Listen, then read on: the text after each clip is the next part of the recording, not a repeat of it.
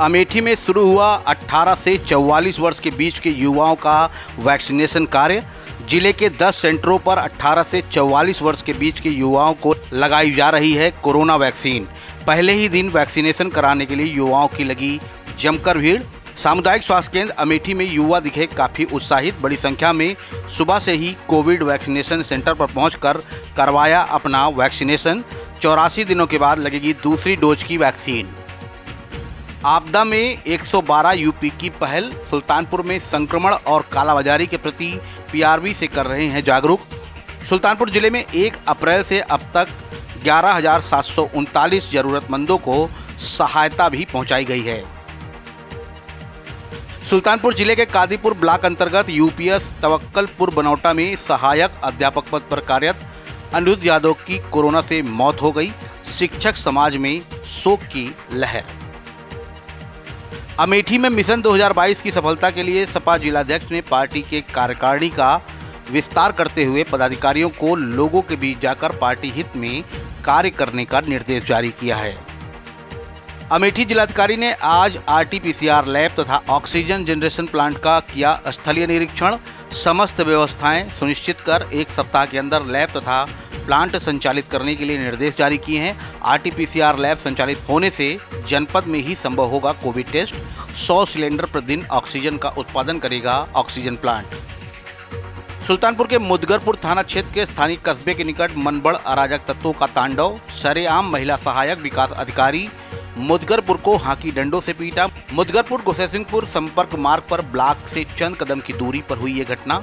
Medical परीक्षण के लिए अस्पताल पहुँची सहायक विकास अधिकारी गायत्री पांडे। सूचना पर पहुँची पुलिस कर रही है जाँच पड़ताल। एसपी डॉक्टर विपिन मिश्रा ने दिए अराजक तत्वों के खिलाफ सख्त कार्यवाही के निर्देश। सुल्तानपुर के कुड़वार थाना क्षेत्र के रवनिया गाँव में दबंगों ने नव निर्वाचित प्रधान के घर धावा बोला। दबंगों ने धारदार हथियार और लाठी डंडों से नव निर्वाचित प्रधान के घर के आधा दर्जन सदस्यों को मारकर लहलुहान कर दिया। घायलों को इलाज के लिए जिला अस्पताल लाया गया। इस मामले में नव निर्वाचित प्रधान ने नामजद तहरीर थाने पर दे दी है। अमेठी में वाहन चेकिंग के दौरान पुलिस के भ्रष्टाचार का वीडियो बना रहे पत्रकार के साथ जगदीशपुर पुलिस के एसएसआई संतोष त्रिपाठी ने अभद्रता की है। एसएसआई ने एटीट्यूड दिखाते हुए बदले की नीयत से मौके पर खड़े पत्रकार को हेलमेट न लगाने का चालान काटा और धमकाते हुए कहा कि माफ़ी मांगो वरना पता चल जाएगी। अभी तुम्हारी औकात। इसको लेकर पत्रकारों में आक्रोश है। पुलिस ने पत्रकार से कागज़ भी नहीं मांगा था। जगदीशपुर कोतवाली पुलिस बूथ के पास का है मामला।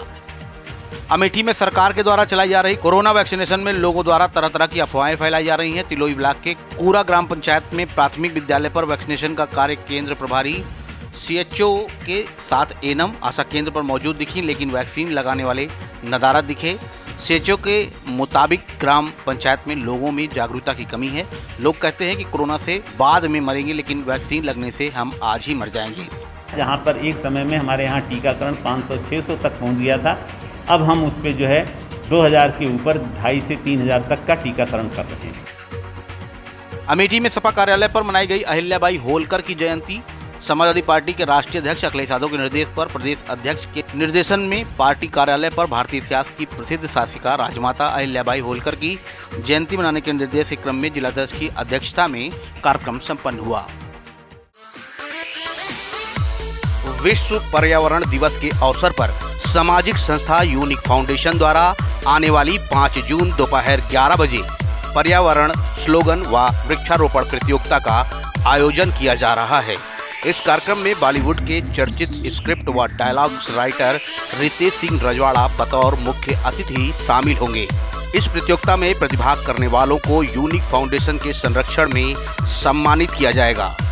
ज़्यादा जानकारी के लिए नीचे दिए गए नंबर पर संपर्क करें। Seven zero zero seven nine six seven double zero seven nine nine eight four zero five zero four four nine eight seven eight seven zero four zero seven double eight. पर्यावरण है तो हमारा जीवन है।